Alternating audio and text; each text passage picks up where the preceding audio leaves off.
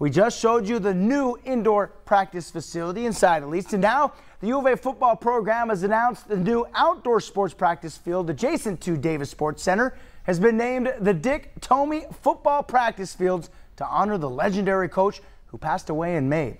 Here are a few shots of the outdoor practice field, which of course is on what used to be Arizona's baseball stadium for many years. Dick Tomey is not only U of A's all-time leader in victories on the football field, he also has that honor for Hawaii. And as mentioned, his former teams, the Arizona Wildcats and, of course, Hawaii, will face off in game one on August 23rd.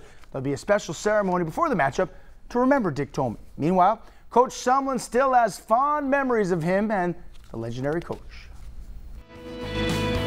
Couldn't be a better situation from the, the work that put the, the, these guys put in and, and discipline, the things that he preached every day um, don't think that uh, we're not reminding our players of that when they step on his practice field. I think it's uh, a real tribute to him and, and, not just to, to the university, but to, to every team and every player that walks in and plays football here at the University of Arizona.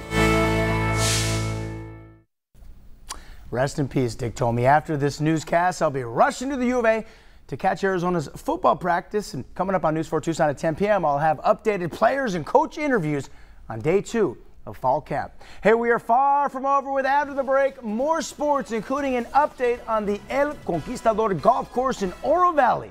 Will the 36 hole course be dropped to 18 holes in order for the town to use the space for a park for young athletes and families? That and more after the break.